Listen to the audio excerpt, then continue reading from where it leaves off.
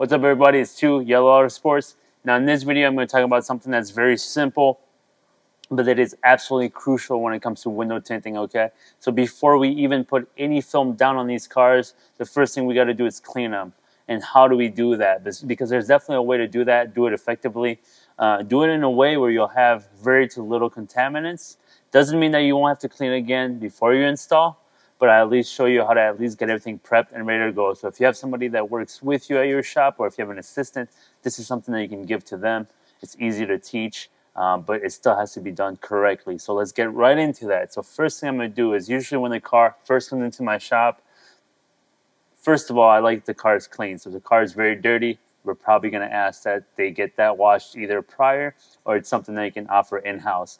A clean car is just going to make the install a little bit better. I mean, the whole goal of window tinting is ultimately how do we install this film with zero to little no contaminants. Now, I will say, if you're new to tinting, zero contamination is damn near impossible. And I know that's something you're not going to hear from most window tinters out there, but hey, that's the truth. I've inspected literally every tint that I've seen on every car at SEMA and every car show around the country that I've been to. So let's get right into it. I'm to use my slip solution. This is just Baby Johnson shampoo uh, with water. And I'm going to just clean my glass.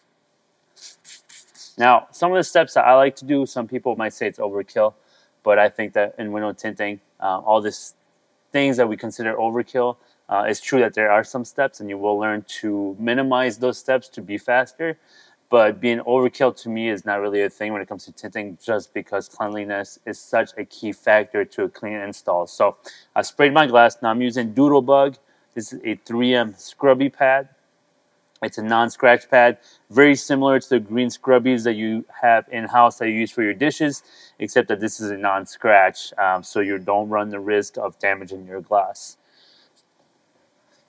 Now when I'm cleaning this, I'm not going for the cleanest window possible. I just want to kind of clean any dirt that might be on there. Now a technique that you can also do is feel with your hand and you're just feeling for anything that might be stuck on the glass, either tree sap, dirt, things like that. Now some people might say you don't need to clean the outside glass.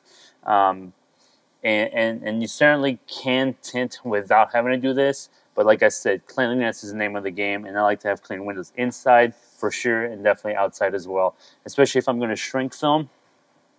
Uh, if there's a lot of contaminants on the glass, then a lot of times you'll imprint that contamination on the film. So I've got the outside clean. Let's go to the other side, and I'll clean the inside.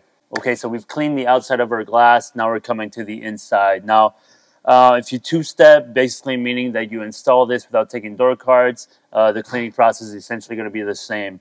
But if you see this, it's because we like to bottom load here at Yelo Auto Sports, meaning we take the door cards off. Um, and this was pretty easy panel to remove, and maybe we can address that in future videos. But let's go ahead and clean this inside glass. Now, there's a few areas on a glass on the inside that are very crucial to cleaning, okay? One, it's going to be this top edge. This top edge likes to obviously hide and tuck itself into this gasket up here, and a lot of dirt gets collected up here. Also, when people clean their glass, uh, even if there's somewhere that I clean meticulously every day, if you're not a window tinter, you're generally cleaning your glass just like this, but you're not actually running across this top edge, okay? So this top edge will always collect the most dirt. The other key points are going to be on your gaskets, on the inside of those gaskets, right? Because when we clean glass and we wipe, we're just automatically stopped by this gasket, so we can't go past that. So we want to flush these sides using a lot of uh, of our slip solution to kind of flush these things down. So top edge and these corners are very hidden. They're very dirty, hold a lot of contamination. Definitely key areas to watch out for. Uh, the next thing I'm to do is I'm to razor blade this whole glass. Now, when I razor blade, I'm using a stainless steel razor blade. Now, here's a little key advice if you have a car that's 2020, I would say, or newer, something that's probably three, four years old, a lot of times a scrubby pad is going to do just fine. It's going to clean the glass effectively. It's going to get rid of any small dirt or anything that might be stuck on there. And just like the front window, you can run your hand and feel for any dirt nibs that might be jammed in there. I've always started with the razor blade, so I tend to still use the razor blade, but just make sure it's stainless steel so that you have less chances, chances of scratching. Another big thing is if you if the car comes with these little factory stickers. In this case here, we have a SiriusXM sticker.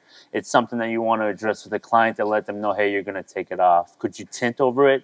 You certainly can, but uh, for a cleaner look, you, you probably want to take that off. And so make sure you address that with the client just so that they're aware that that sticker is going to be coming off, okay? If they absolutely want to keep it on, I'd still suggest that you tell them that we have to remove it. But if they insist, I'll let the client be right in that case, okay? But generally, you'd want to take that off. So, so I'm going to be a little bit generous with my slip solution here. The nice thing about bottom loading is I can cover this door card, so I'm not too worried about getting everything wet. Now, like I said earlier, option one, option two.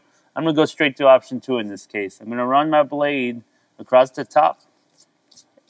And I'm nice and parallel, okay? I don't want to have an angle on this blade. I'm really get run I'm running it as parallel as I can. Now there's two things when I'm cleaning glass like this.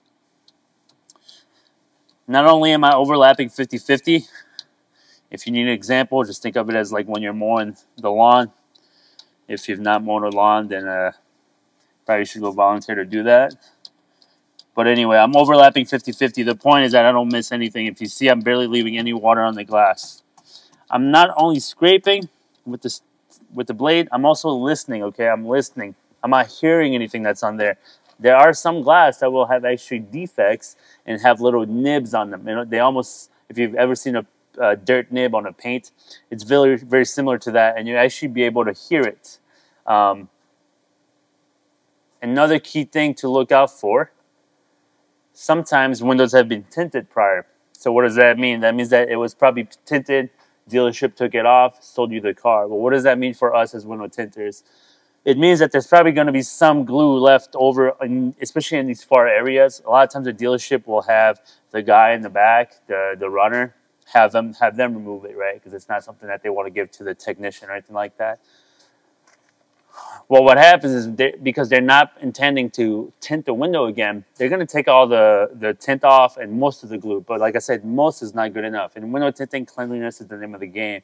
So I'm only saying that because I noticed a little bit of glue on this top corner that was still there. So as soon as you see any glue remaining, that should be a telltale sign that this window was probably tinted. And it's a key point to keep in mind because when you actually see that, you have to assume that every glass around this car was also tinted at one point. Now, it might have just been these front two, but you want to be um, mindful and just pay attention to that and keep it in mind that if I saw it once, it's probably all around, okay? So now I've done the cleaning. Now I'm just going to clean this bottom half.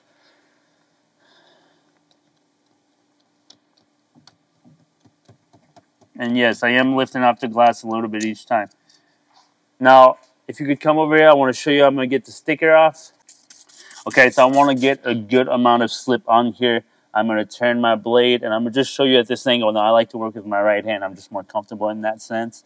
But I will show you. So you're essentially running your blade um, completely parallel to the glass. And I usually will turn it and put most of my pressure on just the one angle.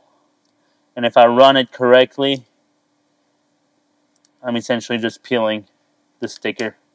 Now, once I have it lifted off the glass, I can, you know, sometimes pull it completely off. And this one I can tell is newer just because it's not breaking or cracking or delaminating on me. But I still want to run my finger there and double check that I got all the glue. If I'm not sure, I'm going to just come back with my razor blade and just make sure that it's all clean. I'm also going to visually inspect making sure that there is no glue on top of actually physically feeling it with my finger. Okay, so that was how to prep a glass from the inside and outside. I try to give you as many tips as I could. Uh, so I hope that it was educational. I hope that you learned something. If you're a window tinter out there, feel free to reach out. Yelo Auto Sports uh, on YouTube. Like the page, subscribe, and make sure that you ask any questions that you might have. If you are not a window tinter and you just happen so to stop by this video, well, I hope that you learned something about what it is to be a window tinter and the things that we look out for to make sure that we can give you the best results possible when we're tinting your vehicle. Uh, any questions? Additionally, anybody, if you got them, just leave them in the comments below. I'll make sure to address those. Thank you for watching. I hope you learned something. We'll catch you in the next video.